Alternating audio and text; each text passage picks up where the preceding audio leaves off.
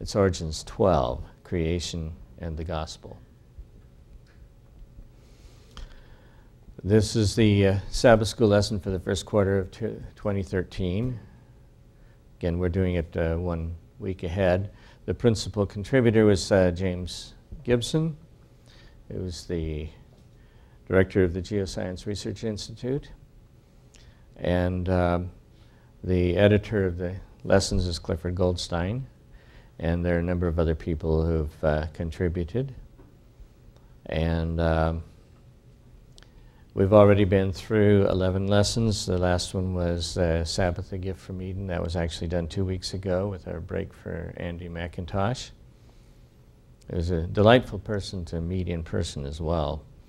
Um, this week we're going to be doing creation in the gospel, and the next week will be creation and again, talking about the relationship between creation and the second coming.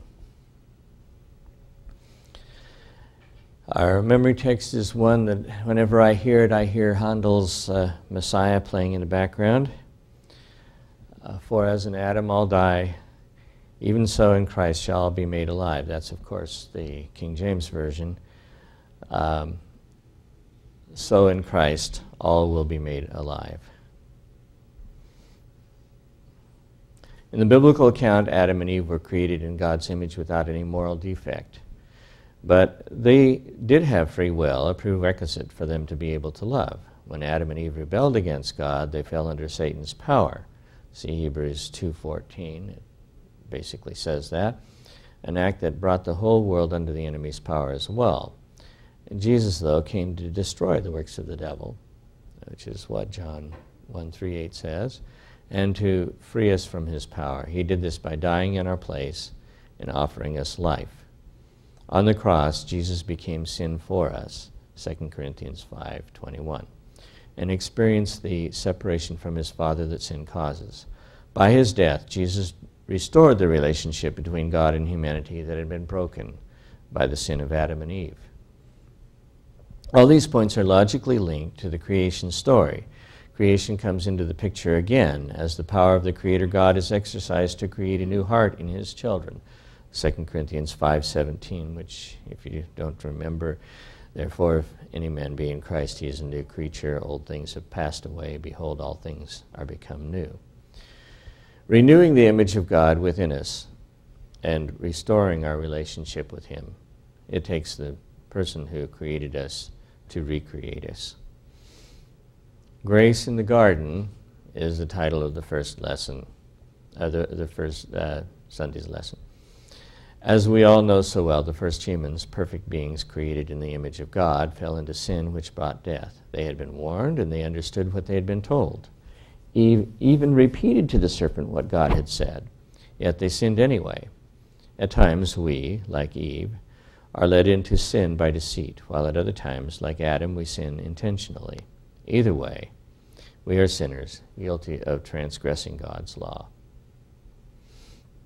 Read Genesis 3 9 through 15, and what was God's response to the sin of Adam and Eve. And uh, the uh, passage says that God was walking in the garden and didn't find Adam and said, Where are you? Although he knew where he was. And he said, I heard your voice in the garden, and I was afraid because I was naked, and I hid myself. He said, Who told thee that thou wast naked? Hast thou eaten of the tree whereof I commanded thee that thou shouldst not eat? And the man said, The woman whom thou gavest to me be with me. She gave me of the tree, and I did eat. And the Lord uh, God said to the woman, What is this that thou hast done? And the woman said, The serpent beguiled me, and I did eat. And the Lord God said to the serpent, Because thou hast done this, thou art cursed above all cattle above every beast of the field. Upon thy belly shalt thou go. Presumably, the serpent before this did not go on its belly. And dust shalt thou eat all the days of thy life, and I will put enmity between thee and the woman, between thy seed and her seed. It shall bruise thy head, and thou shalt bruise his heel.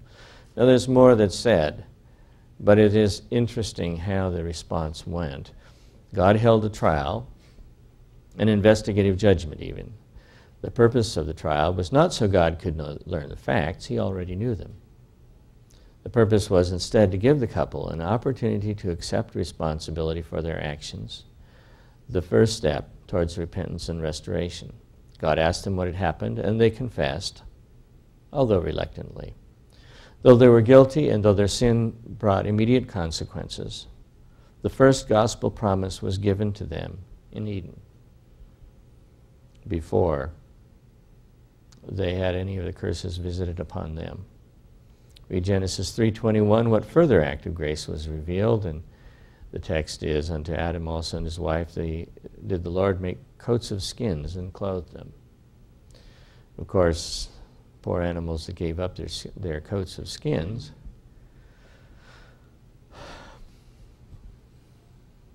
died because of it. And uh, the comment uh, is made death came in in a most unexpected way. Instead of the immediate death of Adam and Eve, one or more animals died. Imagine Adam's feelings as the animals died, perhaps in his place as a sacrifice. It was the first time that Adam had seen death, and it must have brought him enormous mental pain. Then the animal was skinned, and a tunic was fashioned from the skin. The skin was placed over Adam's body to cover his nakedness.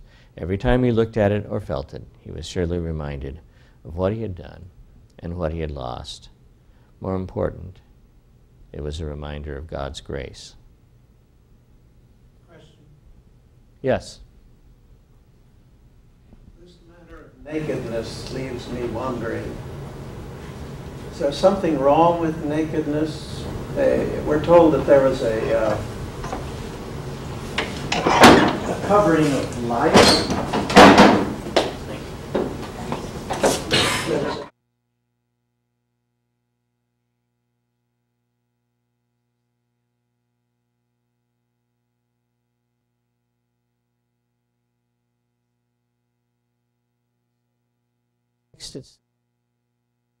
it says, and Adam and his wife were naked and were not ashamed.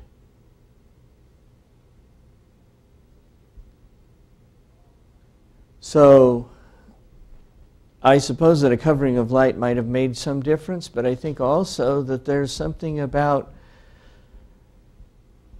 when you're fresh from the hand of God, it isn't, you know, you don't have any secrets to hide, it isn't embarrassing. Um, there are lots of people who try physical cures for spiritual illness.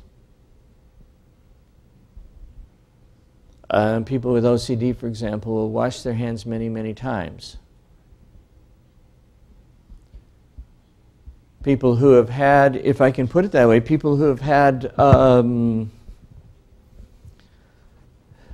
well, let's say sexual encounters with somebody that turns out to be um, not what they expected, and a, a, really bad person will oftentimes take showers afterwards, take three or four showers afterwards, trying to feel clean again.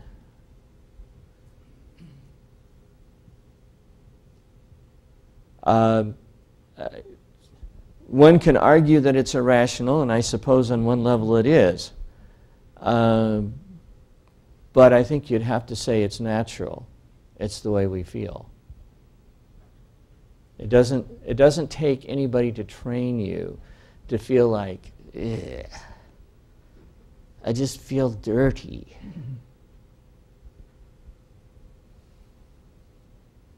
I, have run into that phenomenon a number of times of people who've uh, uh, discovered that the that the guy that they were with was actually, let's say, uh, bisexual. and it's the natural thing to take a shower to try physically to get rid of something that you're not going to get rid of physically. Certainly not in that way.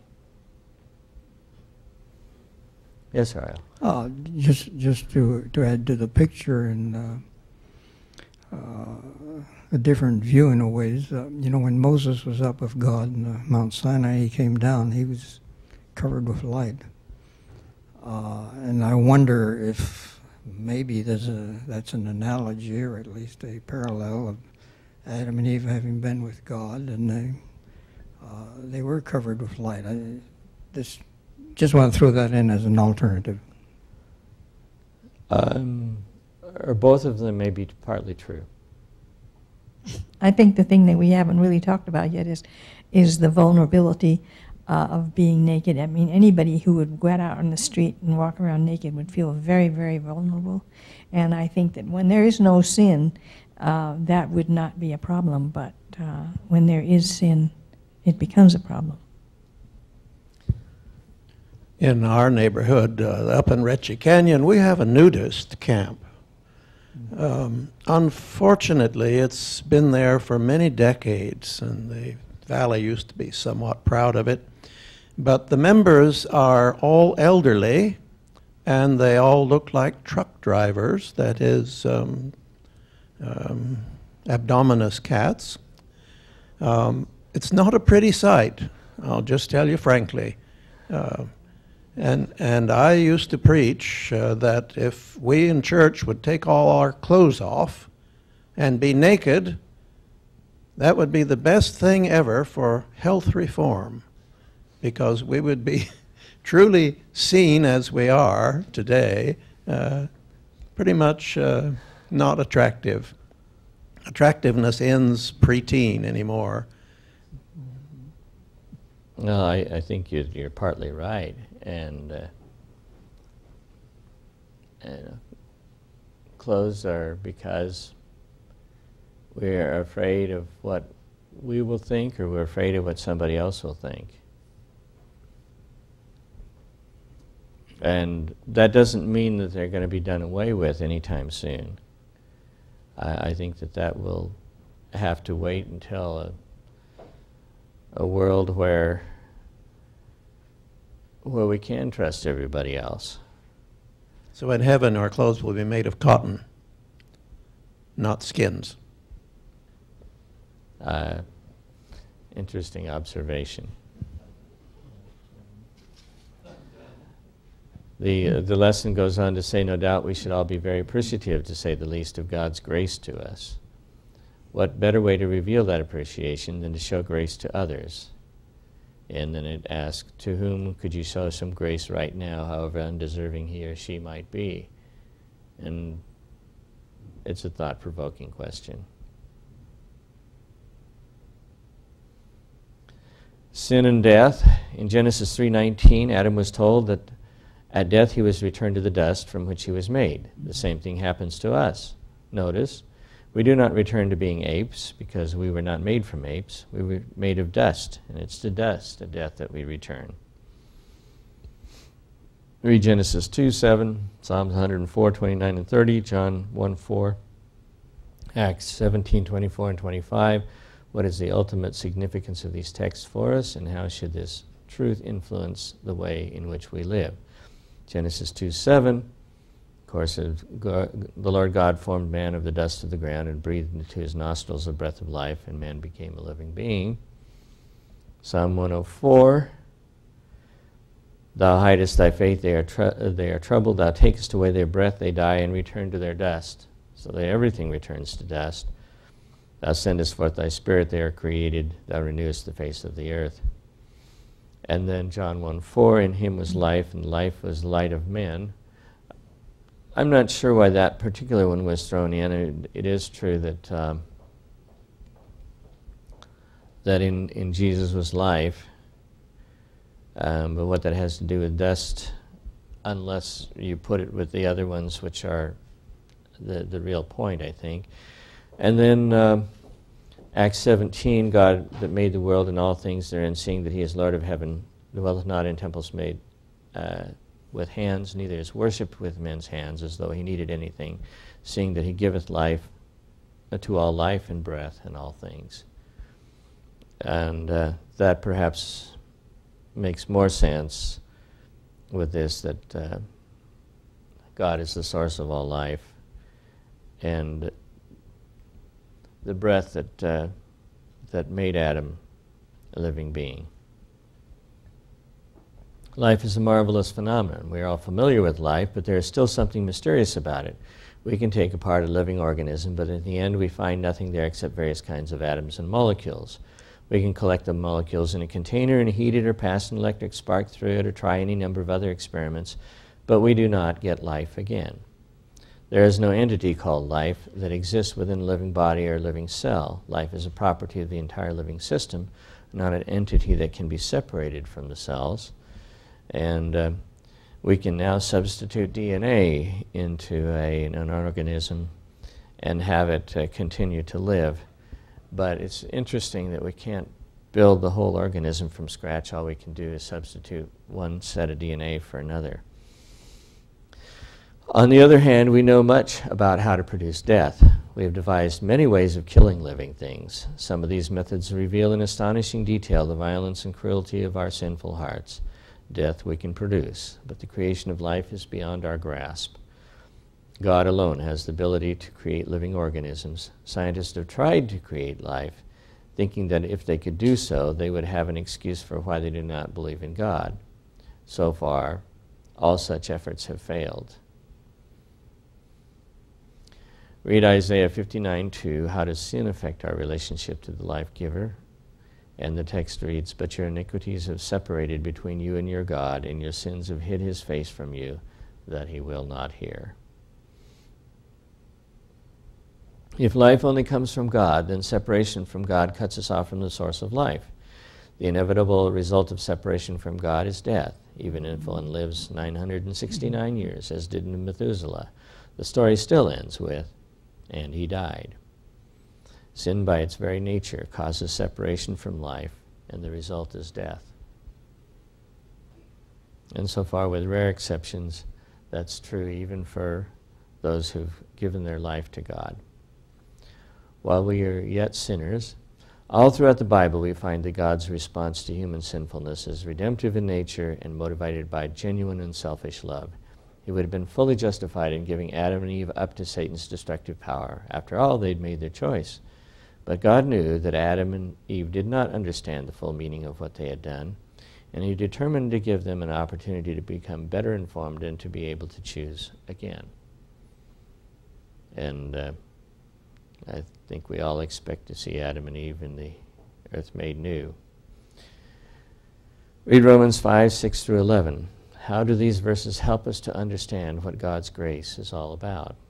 And these are familiar verses to most of us from when we were yet without strength. In due time, Christ died for, for the ungodly. For scarcely for a righteous man will one die, yet peradventure for a good man some would even dare to die. But God commended his love toward us, and that while we were yet sinners, Christ died for us. Much more then, being now justified by his blood, we shall be saved from wrath through him. For if while we are enemies we were reconciled to God by the death of his Son, much more being reconciled we shall be saved by his life. And not only so, but we also joy in God through our Lord Jesus Christ, by whom we have now received the atonement. When we are wronged, we like to have an apology before we accept the offender back into a good relationship with us and sometimes not even then. Of course, an apology is appropriate in such circumstances. Complete healing of a damaged relationship includes an expression of sorrow and acceptance of responsibility for the misdeed. But God did not wait for us to ask for forgiveness. He took the initiative. While we were yet sinners, He gave Himself to die on our behalf. This is a wonderful demonstration of divine love. How does our behavior compare with God's behavior? How often are we offended and angry and seek revenge rather than restoration? We should be eternally thankful that God does not treat us in that way. God's treatment of sinners shows the true meaning of love. It is not a mere feeling, but a principled behavior in which every effort is made to reconcile the offender to the offended and restore the relationship. God's treatment of Adam and Eve is an illustration of how he relates to our sin. The scenes, upon, uh, the scenes of Calvary call for the deepest emotion. Upon this subject, it will be excusable if you manifest enthusiasm that Christ, so excellent, so innocent, should suffer such a painful death, bearing the weight of the sins of the world, our thoughts and imaginations can never fully comprehend. The length, the breadth, the height, the depth of such amazing love we cannot fathom. And that's, of course, Ellen White, Testimonies, Volume 2. Um, the comment is made below that that maybe we can't fathom this love, but why is it so important that we try? And I suspect because if we try, don't try, we'll have no clue. The sin bearing substitute Christ is redeeming us from the curse of the law, having been a, become a curse for us. For it is written, Cursed is everyone who hangs on a tree. And that's Galatians 3.13, which uh, we'll see in another slide uh, dwell on the amazing implications of this text, keeping in mind the deity of Christ as you do. What does this tell us about what God was willing to do in order to save us? More so, what does this tell about how tragic it is for anyone not to accept the provision that Christ has made in our behalf? Keeping Galatians 3:13, which we just read in mind, Read Matthew 27:46 and what did Jesus' words reveal about what he went through on the cross? And about the ninth hour, Jesus cried with a loud voice, saying, Eli, Eli, lama sabachthani. That is to say, My God, my God, why hast thou forsaken me? On the cross, Christ accepted the curse of sin in our behalf. This was a change in his standing with the Father. The sacrificial lamb, when brought to the offer, uh, altar, became a substitute for the death of the sinner. Likewise, when Christ went to the cross, his status before the Father changed. Shut out from the Father's presence, he felt the curse that our sin had caused. In other words, Jesus, who had been one with the Father from eternity, experienced a separation from the Father in what Ellen White called the sundering of divine powers. However hard it is to fully comprehend exactly what was happening, we can know enough to realize that an amazing price was paid in order to redeem us. And then a new creation. The great news of the gospel centers around the death of Jesus as our substitute. He took our sins upon himself, bearing in himself the penalty that would otherwise justly be ours. As we have seen, too, the whole idea of Christ as our substitute dying for the sins of the world is inextricably linked to the creation story. Death is an alien intruder in God's creation, and Christ came to destroy it. If evolutionary theory were the chosen way that God used to create humans, it would mean then that death, far from being an aberration and an enemy, would instead be part of God's original plan for humanity. Indeed, death would play an important role in the way in which God created us. It's no wonder then that Christians must reject theistic evolution as a viable way of understanding the creation story. The Genesis account, however, cru crucial in helping us to understand Christ's death on our behalf, also helps us to understand another aspect of the plan of salvation, that of God's work of creation in us as we partake in, of His holiness now. Read Psalm 51:10, Ezekiel 36 26 and 27, Colossians 3.10, and 2 Corinthians 5.17. What promises are given to us here that were linked with the concept of God as the creator as revealed in Genesis 1 and 2? And uh, Psalm 51.10, most of you probably know by heart, created me clean heart, O God, and renew a right spirit within me.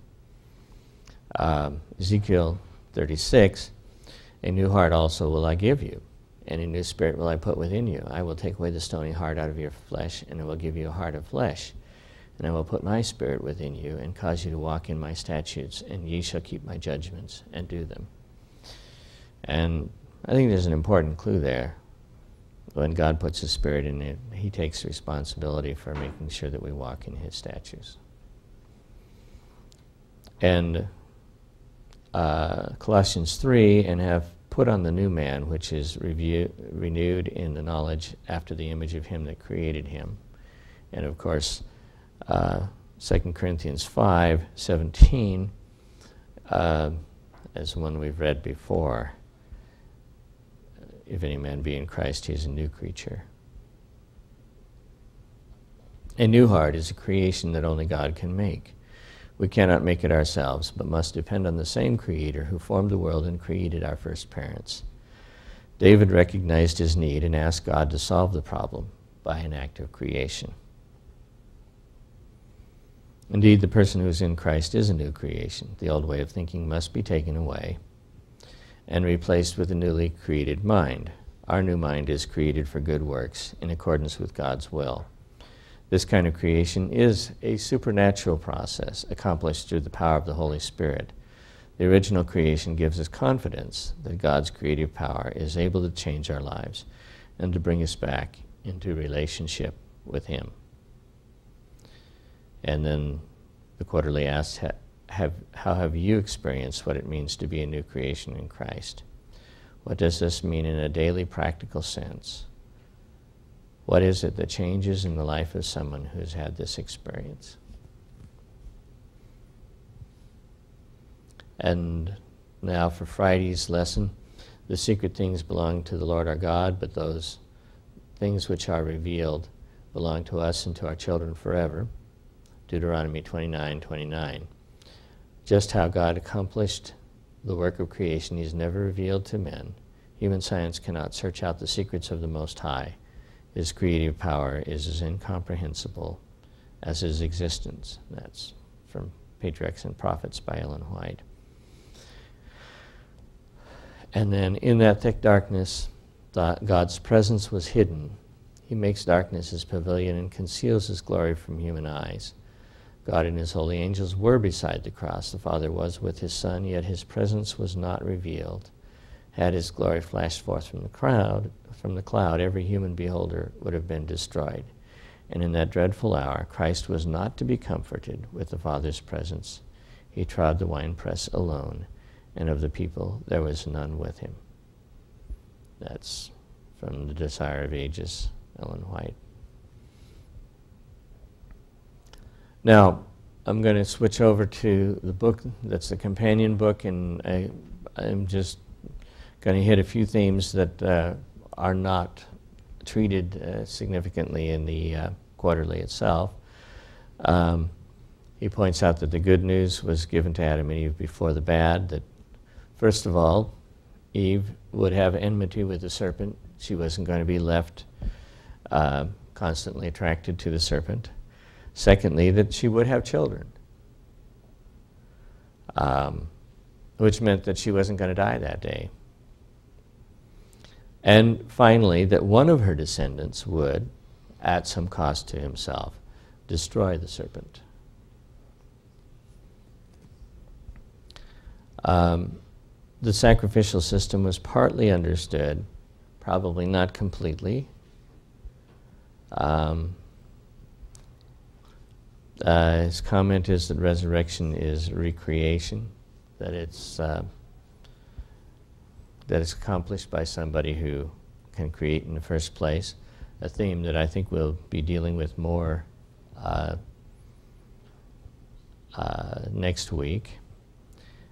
And then he discusses the everlasting gospel, which uh, I'm just going to take the text and put it in parallel to in the way that, that uh, he, he notices, Fear God and give him glory, for the hour of his judgment is come, and worship him who made the heavens and the earth and the sea and the fountains of water. So you have parallel, fear God and worship him.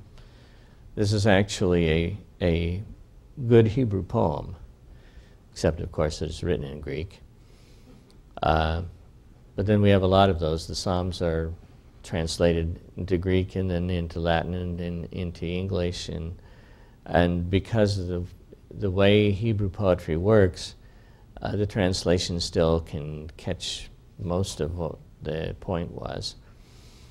And, um, but the, the interesting thing is that there's a parallel between fear God and worship Him, and then there's another parallel to judgment and creation.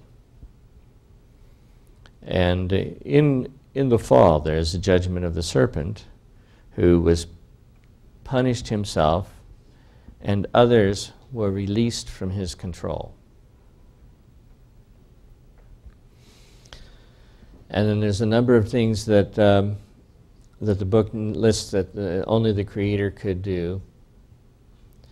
Um, and I won't go through the whole list, but if you're interested, it is in the book. And then he says, without creation and the creator, there can be no gospel. There's no good news unless it's the person who made the original owner's manual that's running the show. We have fallen from our, uh, our original state, not risen from the beasts. Otherwise, why would we need to be saved? And from what? Now, my own personal take on this, I think the connection between the gospel and creation seems fairly obvious. Uh, now, I'm not saying that you can't possibly look at it in any other way, although I would say it, it looks that way.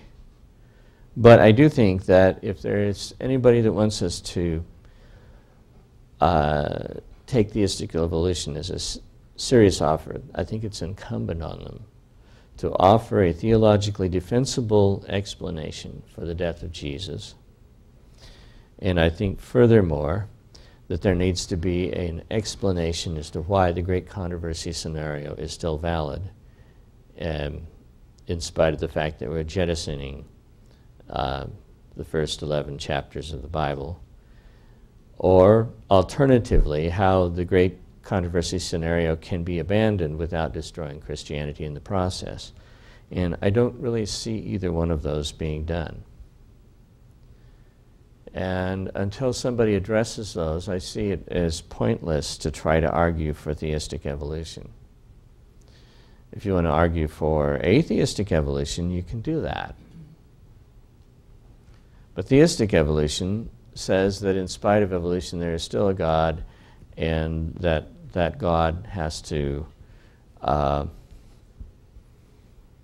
uh, has to be compatible with Christianity, at least the theistic evolution that's usually presented claims to be Christian, then you've got to figure out how you're going to either incorporate the great controversy or else how you're going to do without it.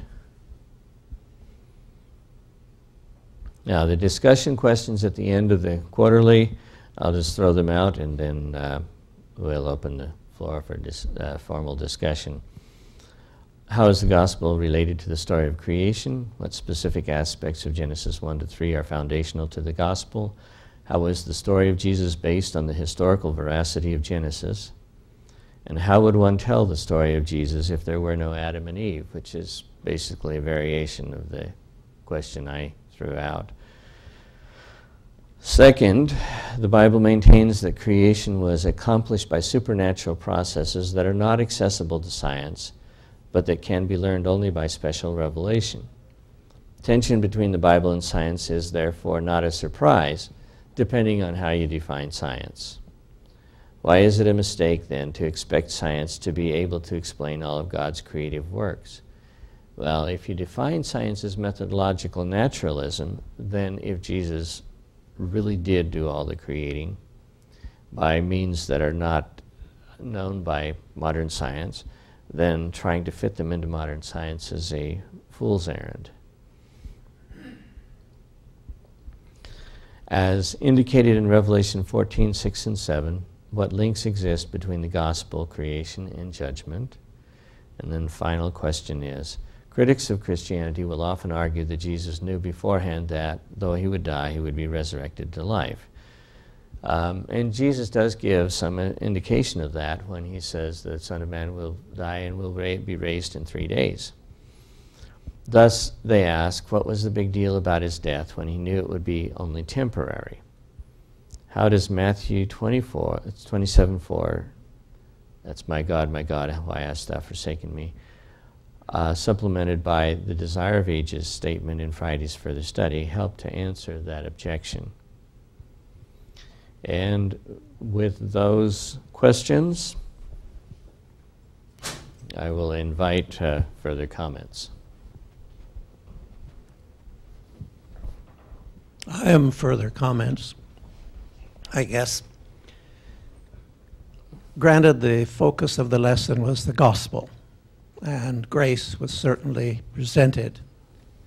But then it got into some language toward the end there about Jesus being in us and one thing and another and, uh, you begin to wonder just how this works.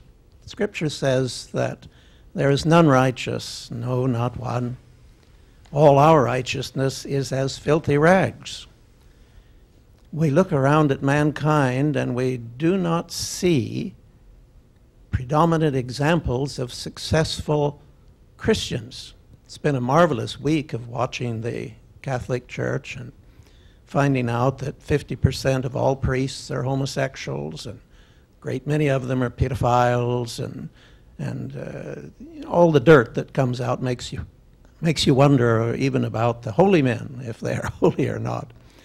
But one thing that is not addressed in this was the subject of justification.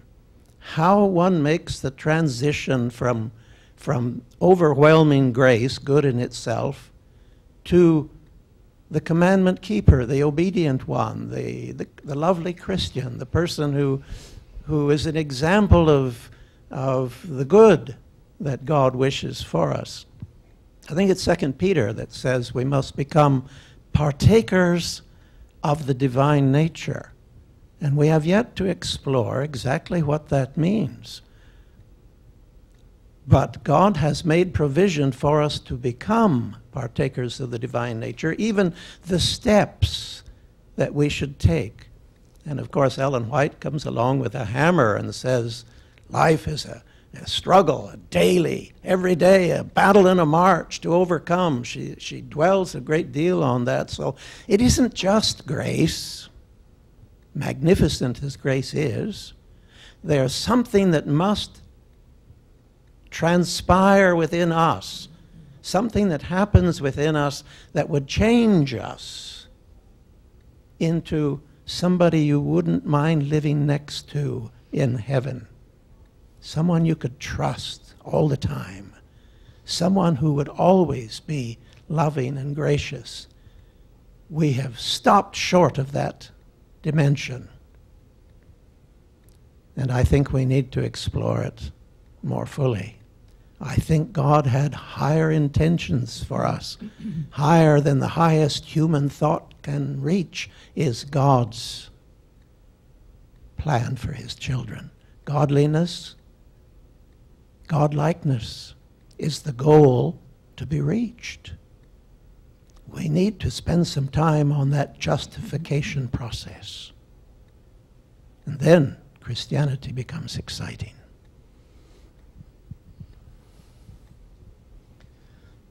Well,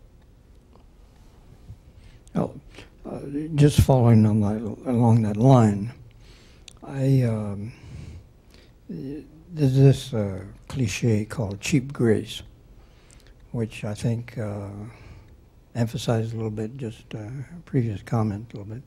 It, it's it's not just a matter of okay, well I've sinned and Christ died for my sins and I can keep on sinning uh, because he covers all my sins, and he's covered all my past sins, he'll cover all my future sins. Uh, I think that's uh, uh, a very, uh, might say, uh, unreasonable approach to it. I, would like to throw in a, just the term commitment here as an addition to that that is necessary. It's not just accepting uh, what you might call cheap grace. We have to have a, a commitment to God, to goodness, to uh, Christ, His sacrifice, and so on. As accept that as as uh, uh, part of the equation, but uh, just one part of that equation, which you might call cheap grace, is not sufficient you have to have commitment. You have to have a change of of uh, priorities and uh, so on. If uh, you're going to be able to um, uh, at least be a, uh, a contributing uh, citizen to goodness here and in the hereafter. Well, I'll uh, give a few thoughts on that. Uh, it seems to me that uh, grace comes in at least three flavors and maybe mixtures of them in some cases. Um, first, there's the grace that keeps us alive. And atheists get that grace. Uh, people who are angry at God get that grace. If uh, you want to go as low as modern society thinks, Hitler got that grace. Um, not completely, he died in the end, and probably earlier than he would have normally. But we're all given a, certain amount of um, slack to work with. That's uh, Jesus' observation, which you know comes partly from the Old Testament as well. But uh, you know that that God uh, sends the sun to shine on the just and the unjust, and the uh, and the uh, and makes it rain on the on the uh, righteous and on sinners. Uh, so there's a certain amount of grace that's given to everybody, period. Those that accept it, I think, God gives the grace of forgiving sins. Even though some of them will struggle with those sins for the rest of their lives.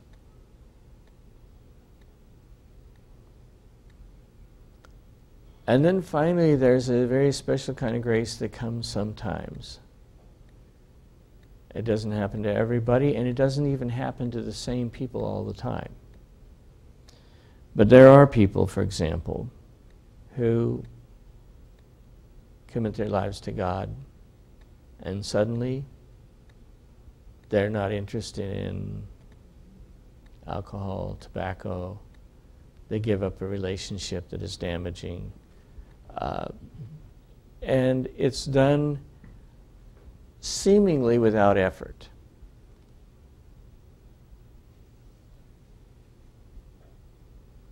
Now, if I knew what that was, and I was crass enough to can it, I could make myself a millionaire, I am quite sure. Because there are a lot of people who would just love to have that kind of experience and would pay almost anything for it. Although maybe I might observe that they'd pay anything except a, an actual full commitment in some cases. Um, St. Augustine pointed out that one of his prayers was, Lord, make me righteous, but not yet. And I'm afraid that there are a lot of us that, that fall into that category. But there are many people who agonize and struggle and struggle with sin and fall back numerous times. And there are others for whom it just is gone. Um, and there are people, myself included, where it's gone for a while and then it comes back. Uh, and I don't know the answer to that question as to why some people struggle and other people just sort of, it disappears. If I knew for certain, Well, the truth of the matter is if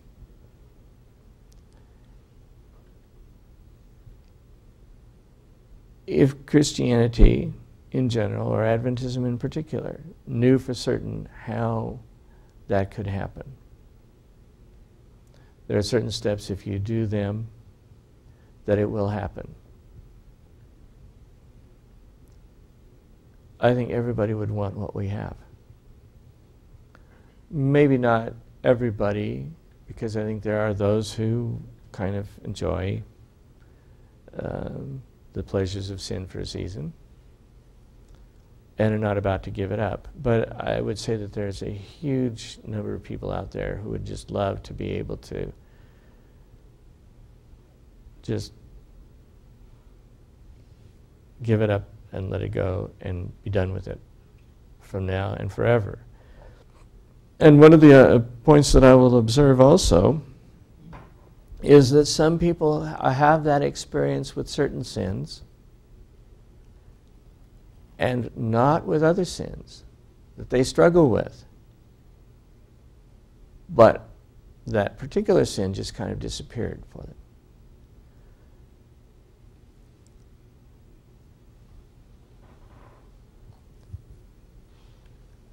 Yes. In Steps to Christ, Ellen White says everything depends upon the right action of the will. And we talk about willpower. And then she goes on to explain that we need to surrender that will to God, let Him revitalize our will, our wish to do things. Once we have that will reestablished, then it needs to be exercised in order for a person to grow in grace. There are a lot of things that I gave up of a negative nature to become a Christian. Was that it? You know, 15 items and that stops? You know, I don't, uh, or should I be growing beyond that? Should I be tackling each and every sin that possesses me with a, with a, with a mind to getting rid of it, just as I got rid of drinking and smoking and, and all those other things. I used to travel a lot and used a lot of gas, and every gas station had a candy machine in it. And I was away from home for meals. I needed nourishment. So I had a candy bar. Then one day it dawned on me what I was doing. It was stupid. And I determined never to do that again.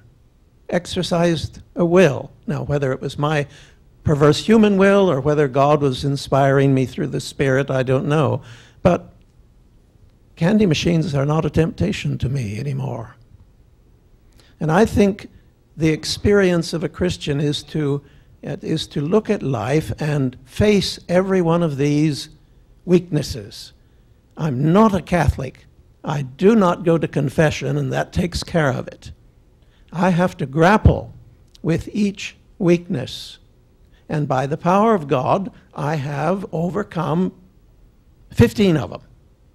There's still an undisclosed number, but, but, it, but that's, that's the, the excitement of Christianity. That's the building, that's the succeeding. And when that person gets rid of 15 or 25 or 30, then truly God begins to be visible in this person. Uh, that, that's the Christian witness. That's the lovely person that we can become. God had in mind not only a, the glory of heaven, He had in mind some glory here. And that's the third step, that glorification. Justification, sanctification, glorification. God has a beautiful plan, an exciting plan, but the church hasn't found it yet. But it's all there, so plain, so well, clear. Some of us are finding it in bits and pieces here and there.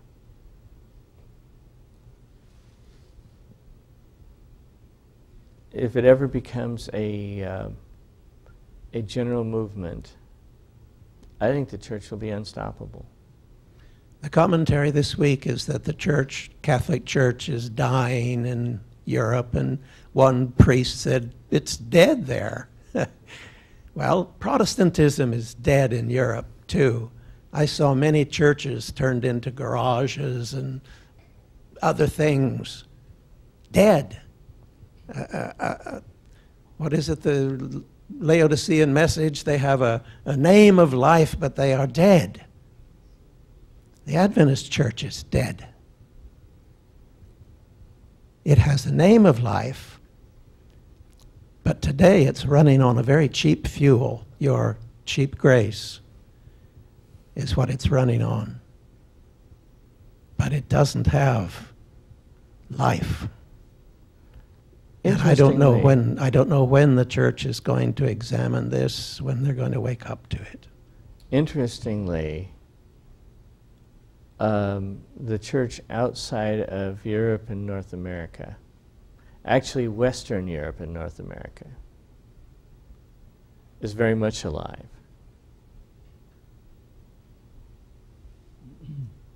Um, we have turned into the toughest mission field in the world. Um, at least the second toughest. Maybe Islam is a little harder. Let me warn you, I was a missionary in South America. The union I was in led the world in baptisms. Come to find out from one of my close American friends who took a job ministerial director, when he reported the number of baptisms in that particular area, he was immediately called on the carpet by the union director. What's wrong with you? Your predecessor had much higher baptisms than you. So he called his predecessor and he said, Oh, these Indians don't bother to report. So I just add 10% to last quarter's report and send that in. I was in a meeting of world leaders once and told that story, and a man jumped to his feet, his face livid, and he said, Young man, young man, just shaking his finger. He said, Wherever you see these large numbers of baptisms anywhere in the world, that's a mistake. And he's right. It's not easy to be a Seventh day Adventist. You give up your job, you give up so many things. We are obsessed with these huge numbers of baptisms. In Peru, we baptized people two or three times. If once was good, second or a third time was better. The people were primitive, they lacked understanding. I would ask them, ¿Dónde está la Virgen Mary? Where's the Virgin Mary? In el cielo, they would tell me, in heaven.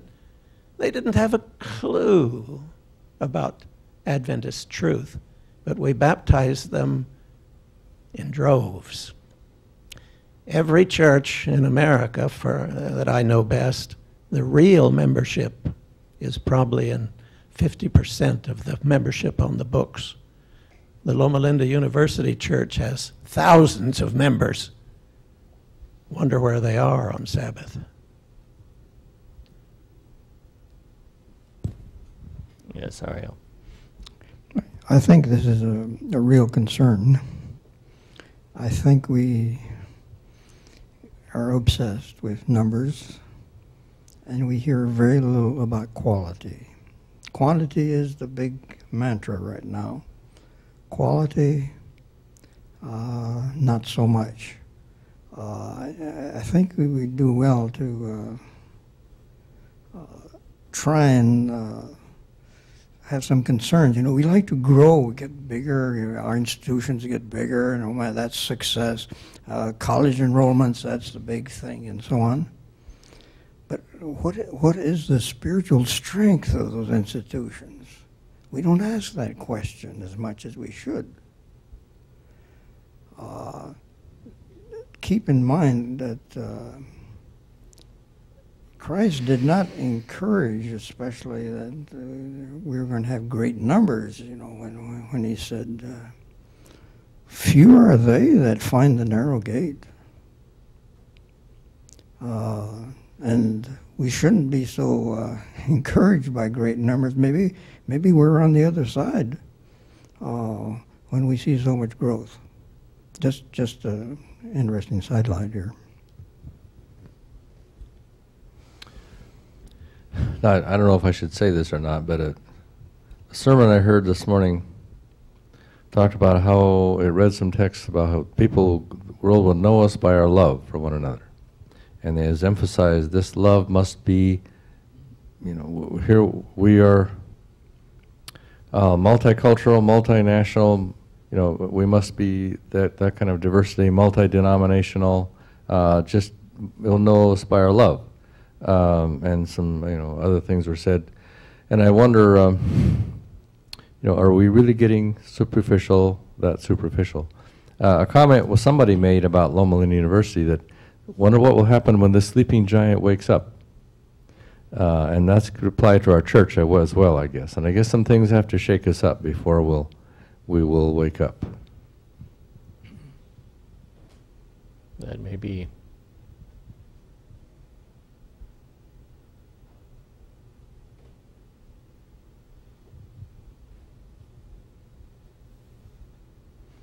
Well, if nobody else has anything to say, I'll, I'll raise a question about uh, theistic evolution, since that entered into the lesson. It did. Uh, if you're going to accept the idea that there is a God in the picture, it's a different discussion than our usual uh, discussion of, well, it's uh, natural, naturalistic science, whatever you, if you want to call it, methodological science or atheism. Uh, effectively, these are all the same operation. God is out of the picture. Uh, but if you're going to change the, the picture to, hey, put God in the picture here, you need to uh, uh, have uh, at least uh, some answers and uh, questions were alluded to in this lesson uh, about the problems of, of theistic evolution. And uh, I would say among the among the leading ones are uh, the fossil record and what it shows, and these multiple extinctions, you know, six or seven uh, often listed in the fossil record, uh, these extinctions ver- times, at various times through the fossil record. But those are the mass extinctions. That doesn't count all the individual extinctions that take place Right, as well. but, but, but these are, these are mass extinctions and uh, more impressive. Uh, You have to, what kind of a intelligent God, if he's intelligent enough to, to create life, various types of life and so on, would create these things uh, only to see them go out in extinctions and then create uh, another set uh, and so on, only to see it go out in extinctions. Uh, what a, a wasteful uh, process that you have to explain for an intelligent God as you look at this uh, fossil record. And then, then that God uh, gives you the Ten Commandments, and he said, "Hey, I did it all in six days." Uh, And he doesn't just give the Ten Commandments, he speaks them, and then he writes them once, and then he writes them again. Right. Uh, uh, hardly anything more direct from God than those Ten Commandments, uh, and so on. So that uh, uh, while a lot of Adventists on the internet, I notice in, in the discussion uh, blurbs and so on, uh, web pages and so on, uh, they just seem to accept.